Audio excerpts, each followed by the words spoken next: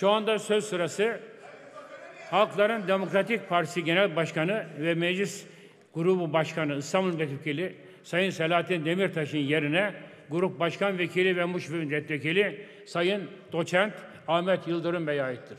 Beyefendi buyurun.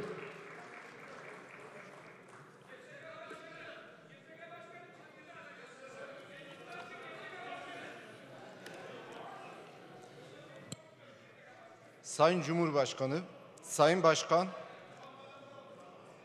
Edirne, Kandıra, Silivri cezaevlerinde bulunan Sayın Eş Genel Başkanlarım, değerli milletvekili arkadaşlarım ve değerli genel kurulda hazır bulunan değerli milletvekilleri, değerli konuklar ve sevgili çocuklar.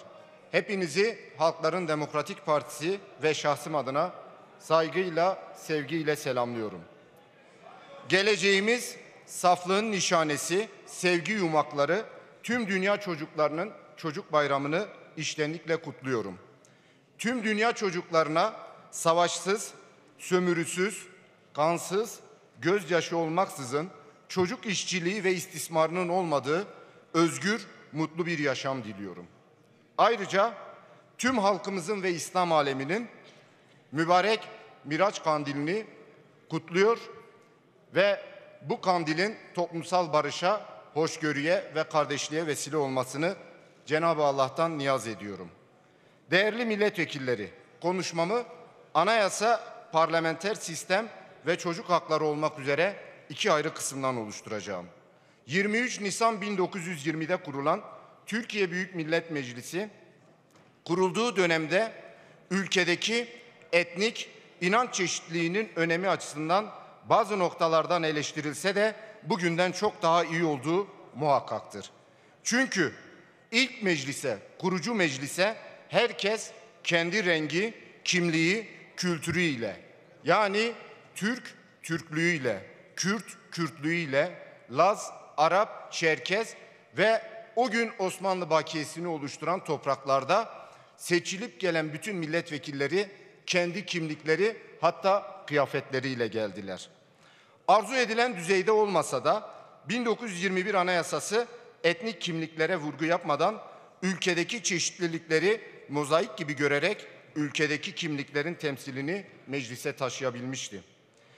Sonraki dönemlerde anayasanın geliştirilmesi, kapsayıcılığının genişlemesi, devleti merkezileşmeden yerelliğe, yerelliğe taşıması beklenirken 1924 Anayasası ile tekliğin inşa edildiği, çoğulculuğu reddeden, yerelleşme yerine merkezileşen, toplumun huzuru yerine iktidarların kalıcılığını esas alan, insan merkezli olmak yerine kurumları merkezine alan bir yapıya geçilmiştir.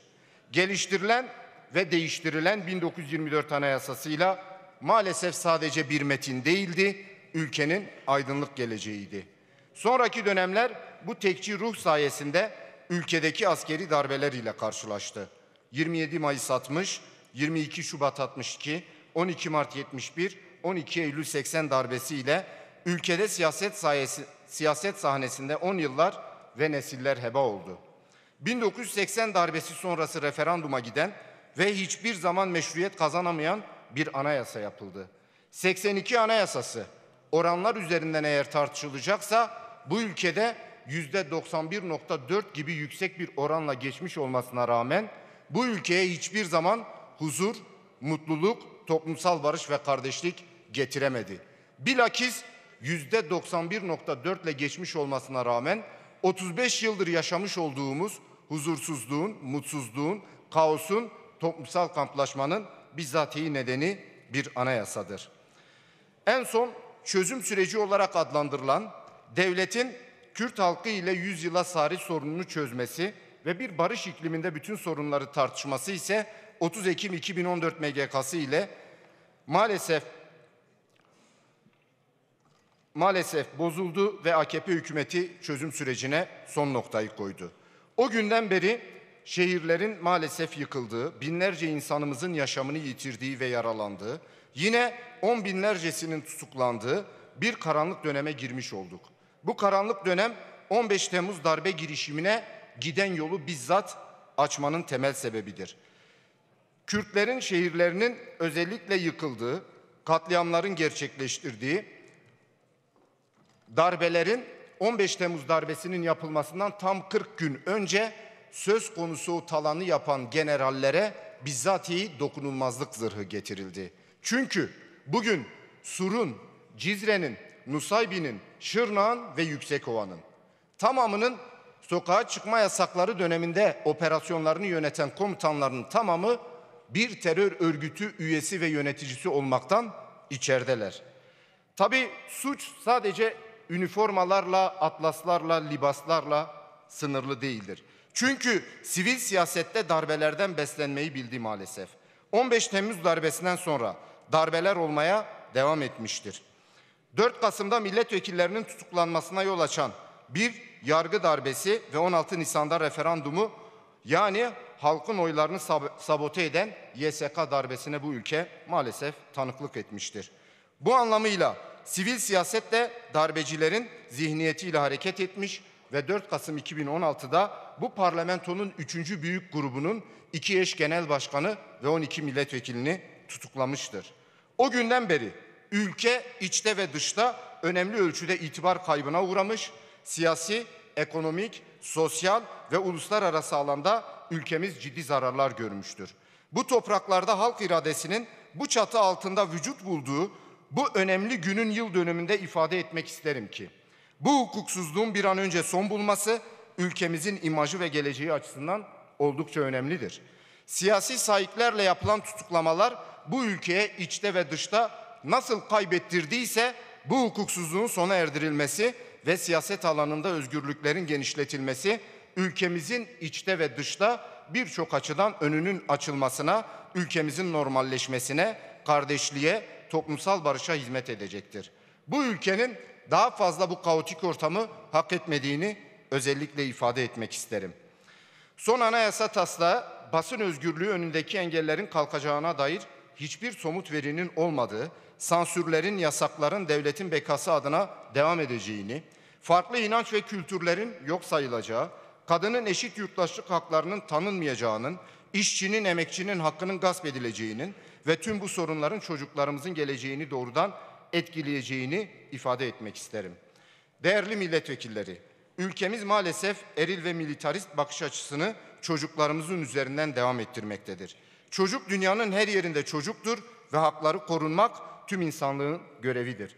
Devletler ise bu gerekliliklerini yerine getirmekle mükelleftir. Bir çocuğun ilk hakkı yaşam, beslenme ve güvenlik ise ikinci hakkı dünyaya geldiği ana dilini öğrenme ve eğitimini bu dil üzerinden sürdürmesi hakkıdır. Ancak Türkiye'de Türkçe dışında tüm diller baskı ve asimilasyon politikalarına maalesef maruz bırakılmaya devam etmektedir. Devlet yükümlülüklerini yerine getirmediği gibi yerel yönetimlerin ve özel kurumların ana dilde eğitim konusundaki girişimlerini bazen yönetmelikler, bazen KHK'lar, cezalar ve bugünlerde de kayyumlar eliyle engellemektedir. Geçtiğimiz bir buçuk yıl içinde maalesef çatışmalı ortamdan dolayı yerinden edilmek zorunda kalan, sağlık haklarına ulaşamayan binlerce Kürt çocuğunun bu ülkede hala yaşamını sürdürdüğünü üzülerek ifade etmek isterim.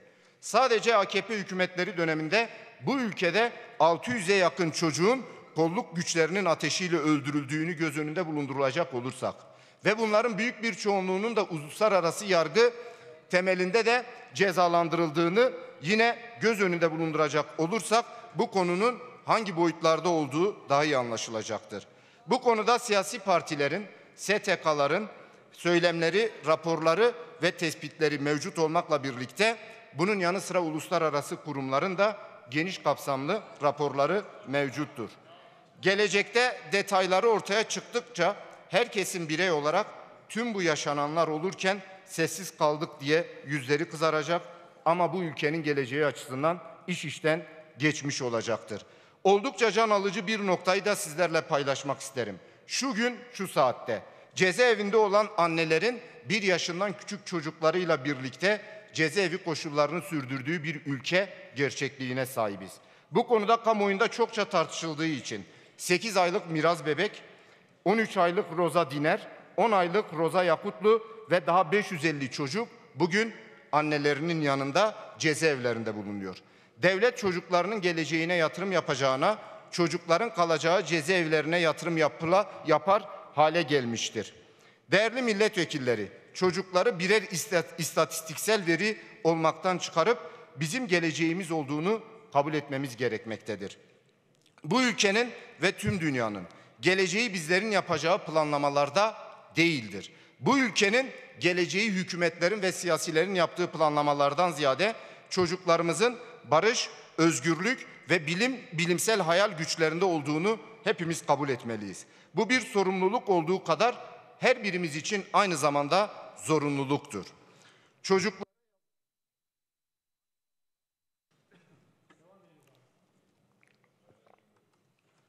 Çocuklara yazılmış güzel şiirler okumak şüphesiz önemlidir.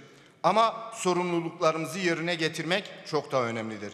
Bu nedenle yapmamız gerekenleri kısaca özetleyecek olursak, Türkiye imzaladığı uluslararası sözleşmelere uymalı, sözleşmelerin uygulanması için gerekli düzenlemeleri yapmalı ve denetimleri sağlamalıdır. Çocuk işçiliğini önlemede en temel alan eğitim politikalarıdır. Ancak ne yazık ki ülkemizde 4 artı 4 artı 4 eğitim sistemi çocuk işçiliğinin azalmasına değil, istatistiksel verilerde de görüleceği üzere artmasına sebep olmuştur. Bu nedenle eğitim sisteminde kesintisiz eğitim sistemi esas alınmalı ve denetimleri arttırılmalıdır. Ücretsiz ve ana dilde eğitim hakkı sosyal devlet ilkesi olmanın yanında tartışma götürmez bir evrensel haktır. Savaştan kaçan Türkiye'de bulunan, ağırlıklı olarak Suriyeli olan ve tüm göçmen çocuklar için rehabilitasyon çalışmaları yapılmalı, eşit ve ulaşılabilir sağlık, eğitim, barınma haklarından faydalanmaları için çalışmalar yapılmalıdır. Son olarak ifade etmek isterim ki ülkemizin bugün içerisinde bulunduğu içte ve dışta imajının zedelenmesine sebep olan bu çatışmalı ortamın bir an önce son bulması için ülkemizin tüm farklılıkları kapsayan ve bir zenginlik olarak gören yeni bir kurucu ruh ve felsefeye ihtiyaç duyduğu çok açıkça ortadadır. Son iki yılda yaşananları göz önünde bulundurduğumuzda iki yıl öncesine göre ülkemizin içte ve dışta gücü ekonomik, sosyal, toplumsal ve siyasal olarak çok daha üst noktada değil, maalesef iki yıl öncesine göre çok daha kötü bir noktadadır. Ben tüm bu duygu ve düşüncelerimle partim adına tüm genel kurulu saygıyla selamlıyorum. Bir kez daha bütün dünya çocuklarının bayramını içtenlikle kutluyorum. Teşekkür ediyorum Sayın Yıldırım.